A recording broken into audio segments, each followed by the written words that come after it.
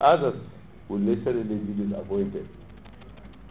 I ask that we all be circumspect, respectful, and peaceful in these times.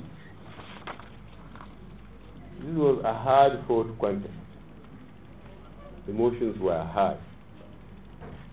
We must not allow them to get the better of us. This is not the time for confrontation. This is a moment that we must begin to heal the wounds and work towards a better future.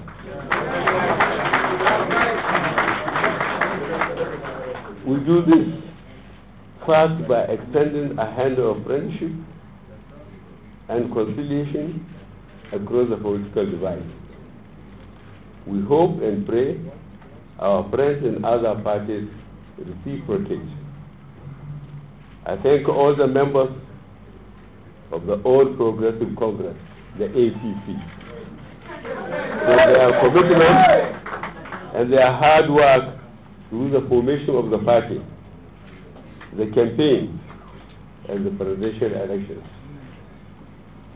Let me equally extend my appreciation to the media, civil society, and security agencies for their selfless service. The international press and our friends abroad deserve special commendation for their support throughout the process. We promise a robust and dynamic engagement with your country in matters of mutual interest to nations.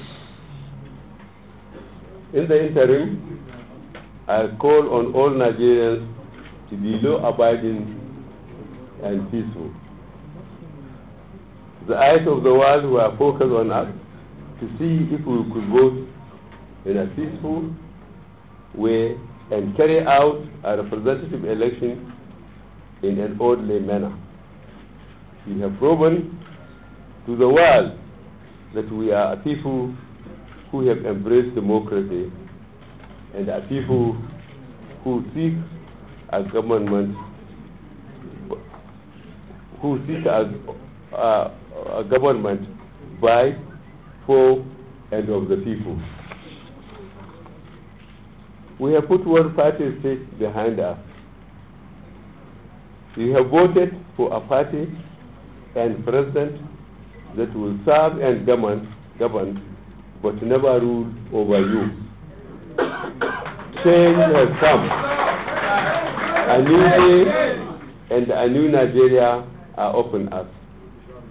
The victory is yours, and the glory is that of our nation, Nigeria. I will make a more formal address to the nation later in the afternoon after receiving the certificate of return from INEC. May God bless the Federal Republic of Nigeria.